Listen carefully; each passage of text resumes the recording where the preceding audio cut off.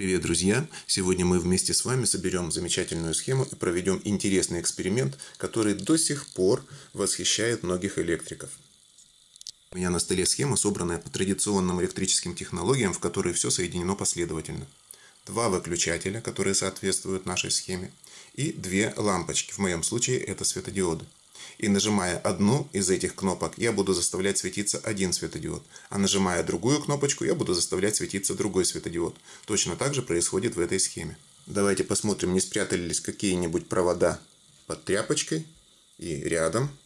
То есть все у нас аккуратно спаяно, все соединено последовательно. Нажимаем вот эту кнопочку, и у нас горит вот этот светодиод. Нажимаем другую кнопочку, и у нас горит вот этот светодиод. Давайте посмотрим внимательно на светодиоды. Действительно ли с ними все в порядке? Да, это обыкновенные красные светодиоды, маркировку которых вы можете увидеть у меня в описании. Ну и как же это может быть, если две разных лампочки загораются от двух разных кнопочек? Давайте разгадаем секрет этой схемы. Чтобы у меня все было так же красиво, как у других, я поставлю сюда вот такой замечательный электрический вольтметр. Итак, нажимая одну кнопочку, я заставляю светиться один светодиод, а нажимая другую кнопочку, я заставляю светиться другой светодиод. И я постарался сделать очень тонкими провода, чтобы никто не мог заподозрить в том меня, что в этих проводочках идут какие-нибудь двойные жилки. Давайте еще ближе рассмотрим наши светодиоды и посмотрим, нет ли среди них каких-нибудь хитрых схем или микросхем или же банальных диодов. Ну, Если кому-то кажется, что я занимаюсь какой-то глупостью и что подобная схема никому не интересна и никому не нужна, то, наверное, я вас разочарую и дам вот такую заставку. Как вы могли убедиться, умные люди с умным видом разгадывают загадку этого парадокса и объясняют всем, как это работает. Ну что же, чем же я хуже? Я тоже вам объясню, как же эта схема может работать. Как может при включении одного выключателя загораться одна лампочка, а при включении другого выключателя загораться другая. Да, кстати, в оригинальной схеме, которую повторяют многие грамотные электрики, вот в такой, если нажать обе кнопки, то загорятся обе лампочки. Давайте проверим, а получится ли у меня. Да, действительно, загораются две лампочки, и это хорошо видно.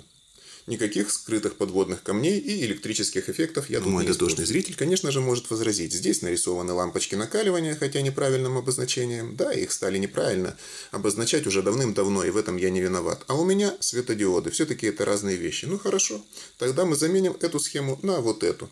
И эта схема не менее парадоксальна, чем то, что я вам показывал только что. Между прочим, свойства этой схемы точно такие же, а именно их вы видите сейчас у себя на экране. Нажимая одну кнопочку, я заставляю светиться один светодиод, именно по вот этой схеме. И нажимая другую кнопочку, я заставляю светиться другой светодиод, именно по этой схеме. Нажав две кнопочки, я заставлю светиться два светодиода, именно по этой схеме. Но разве такое может быть? Разве такое может работать? Совсем недавно я показывал подобную схему, выполненную немножечко на других светодиодах. И там я делал то же самое. Одной кнопочкой заставлял светиться один светодиод, другой – другой. И схема-то была иной. Да, она отличалась, и если кому интересно, вы можете посмотреть ее у меня на канале. Она работает, и она вызвала немало споров. Но там люди предположили, что все-таки в сложных светодиодах внутри находятся довольно-таки сложные схемы, которые и позволяют мне использовать свои знания, чтобы получать подобные эффекты. Между прочим, работа со светодиодами немножечко более сложна, чем с обыкновенными лампочками накаливания. Но все-таки давайте, давайте ее разгадаем.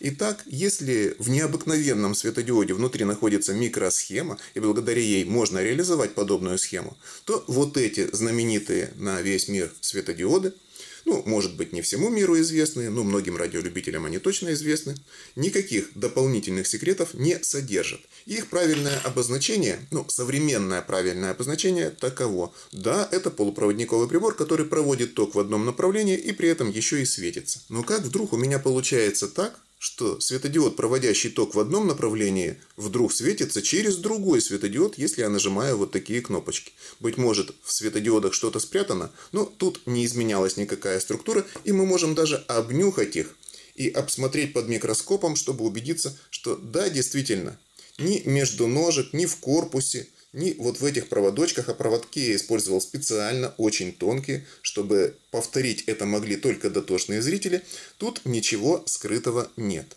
Но чтобы вы поняли, что мы ищем, давайте мы расшифруем вот эту старую схему, которую расшифровал уважаемый автор, и заставим ее работать именно так, как это и показано в сказке. И хотя загадки. именно меня упрекают в том, что я рисую загадочные схемы, неправильные, по которым трудно что-либо понять, но эту схему я срисовал именно так, как ее вам предлагают разгадывать другие уважаемые авторы, в комментариях которых вы не найдете ни одного ругательного слова. Ну, в отличие от моих. Но давайте заставим эту схему работать именно так, как объявили.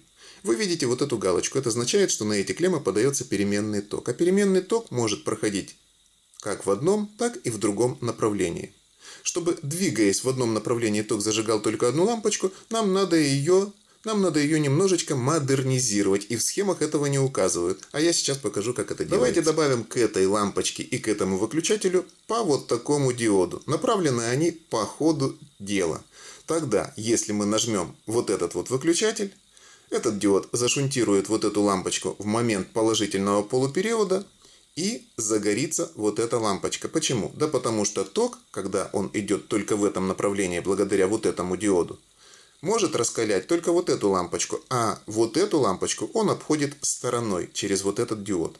Все, с одной задачей мы справились. Когда мы нажимаем одну кнопочку, загорается одна лампочка. Но если мы нажмем вот эту кнопочку, пока что у нас происходить ничего не будет. Давайте дорисуем Для схему. того, чтобы схема заработала, нам надо добавить к этой лампочке тоже диод. Но только в этом случае его надо ставить противоположно первому диоду. Иначе, если мы поставим диоды последовательно, то они обойдут обе лампочки и по ходу пьесы при нажатии вот этой кнопочки эти лампочки не будут гореть совсем. Поэтому диод должен быть противоположно направленный. То же самое мы делаем с диодом выключателя, он тоже у нас противоположно направленный. А теперь давайте посмотрим, как по току сработает эта схема. Итак, когда у нас нажата вот эта кнопочка и зашунтирован вот этот диод, Ток может проходить только через вот этот диод, а это значит, он должен проходить вот таким вот путем. Нажата вот эта кнопка, он идет через кнопку, через этот диод, дальше он идет, должен бы идти на эту лампочку, но так как лампочка зашунтирована диодом, он идет вот сюда. Здесь у нас противодиод ток не пропускает, а значит ток обходит этот диод и идет через лампочку. Нажав эту кнопочку, мы зажгли эту лампочку, ровно так, как я вам показывал. Обратный полупериод тока, конечно же, благодаря вот этому диоду просто никуда не проходит.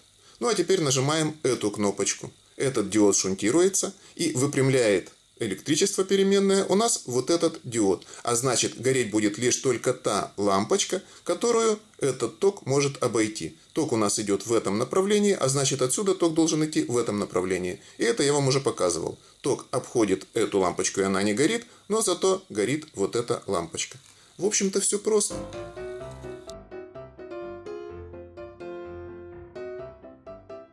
И именно эту великую загадку и тайну разгадал Мальков в своем ролике.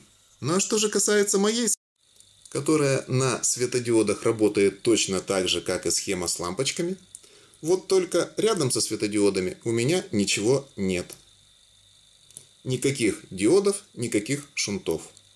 И вот такую простую схему, как вводится, я предлагаю вам разгадать, мои уважаемые друзья и товарищи. А заодно немножечко потеребонькать великих блогеров, которые любят читать и объяснять электрические схемы.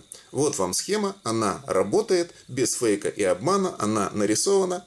Разгадывайте, друзья, товарищи. И я жду ответа в комментариях к этому ролику.